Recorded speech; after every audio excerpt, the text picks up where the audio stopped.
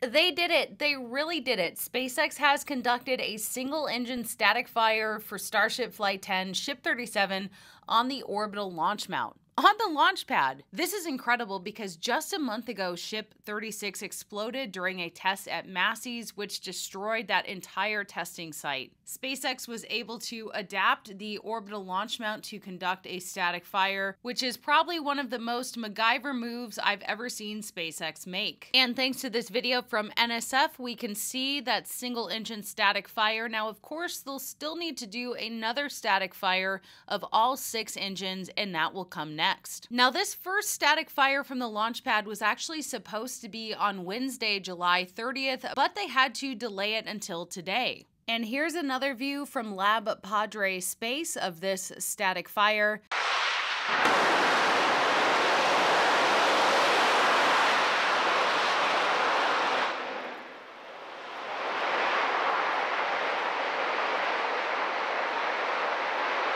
And remember, this is the first standalone ship static fire on the launch mount. So it's pretty impressive that they're able to do this, and it's making an August launch for SpaceX looking more and more likely. We know that SpaceX wants to finally have a successful V2 ship flight, and they have those two remaining ships basically almost ready to go. So check out this wonderful photo from Interstellar Gateway. Go follow them on X of SpaceX's Ship 37 atop the modified orbital launch mount, which has now successfully had a static fire of a single engine and will have more likely tomorrow. So, of course, I'll keep you apprised of any new details, but I did want to share this because, yes, it finally happened. And there's some other SpaceX news as well regarding Crew 11 and also the retirement of a beloved Landing Zone 1. And unfortunately, clouds got in the way of launching Crew 11 today.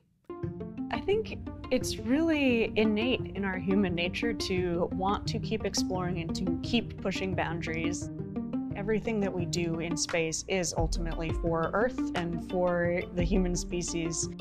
We are having a lot of good experiments on orbit, making new medicines Uh, that is actually good for everybody.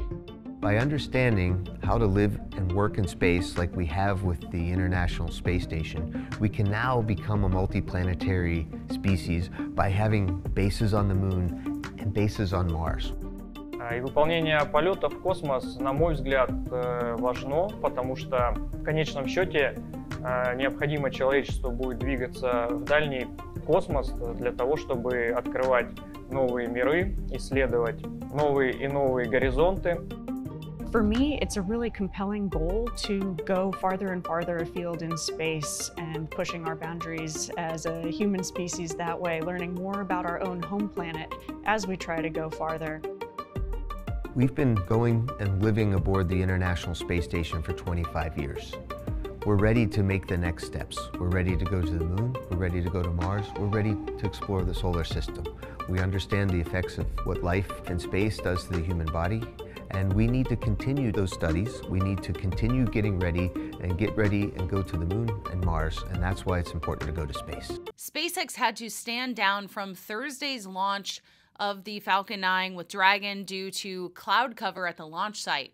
SpaceX is now targeting Friday, August 1st for the launch of Dragon and Crew 11 to the space station. This launch was scrubbed just over a minute until launch, so it really was at the last minute, but better safe than sorry. So, for those in Florida looking to hear that sonic boom, they're gonna have to wait. Now, this mission consists of NASA astronauts Zena Cardman and Mike Fink, probably saying that last name wrong. There's also a JAXA astronaut Kimiya Yui and Roscosmos cosmonaut Oleg Platonov. And this, as I'm sure you can tell, Crew 11 is the 11th crew rotation and the 12th overall astronaut launch by SpaceX for NASA.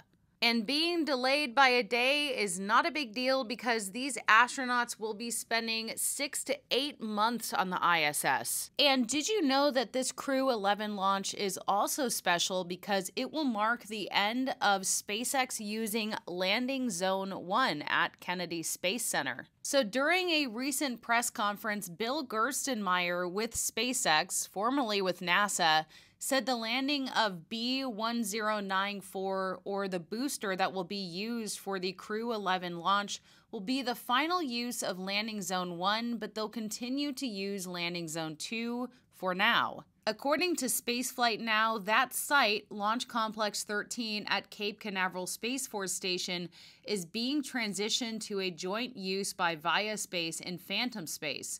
Vaya is aiming for its first launch in 2026. But yes, this is due to SpaceX's lease expiring and a changing of hands.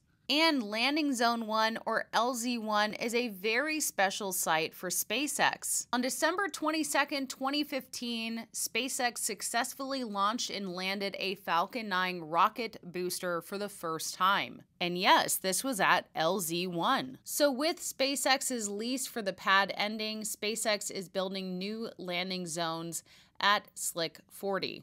Now, like I mentioned, they plan to use LZ2 in the meantime, and of course, they always have the option of the drone ships. But it definitely is the end of an era for SpaceX at LZ1. So thanks so much for watching the video. If you enjoyed it, please subscribe to my channel, Ellie in Space. It's completely free, and I'll see you in the next video.